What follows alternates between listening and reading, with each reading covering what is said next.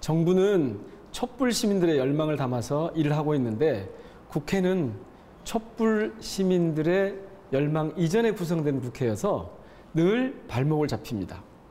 그래서 아 국회에 가서 촛불 시민의 열망을 담아내는 정치가 가능하도록 하는 것이 문재인 정부가 성공할 수 있도록 돕는 길이구나 기여하는 길이구나 이렇게 생각했습니다. 저는 크게 두 가지를 하고 싶습니다. 하나는 시민 주권자 정치이고 또 하나는 현장 정치입니다.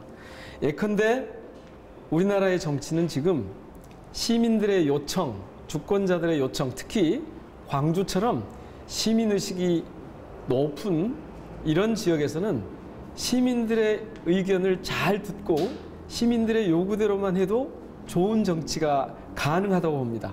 광주 시민들은 전 세계에서 가장 수준 높은 시민들이거든요.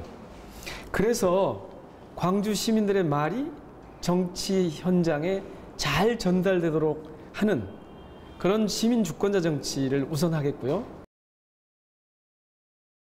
하나는 국회의원이라면 누구나 다 공통적으로 내세워야 하는 국회 혁신이랄지 정치 혁신과 같은 분야의 공약이 있고요.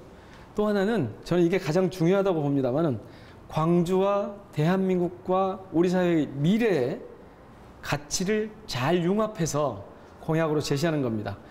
특히 광주를 중심으로 놓고 보면 일자리, AI, 에너지와 같은 분야에서 공약이 준비되어야 할 것입니다.